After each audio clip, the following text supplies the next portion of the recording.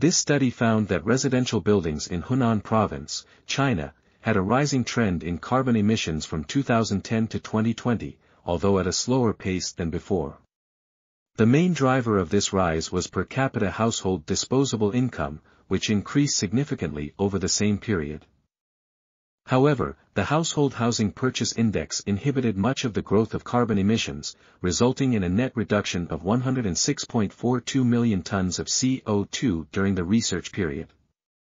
The study also predicted that carbon emissions would reach their peak in 2036 under the base scenario, or 2030 under the low-carbon scenario, and 2041 under the high-carbon scenario.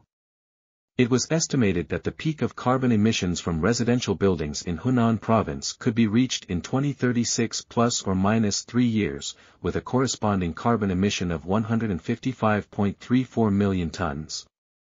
This article was authored by Xin Yang, Yifei Sima, Yabo LV, and others. We are RTCL.TV, links in the description below.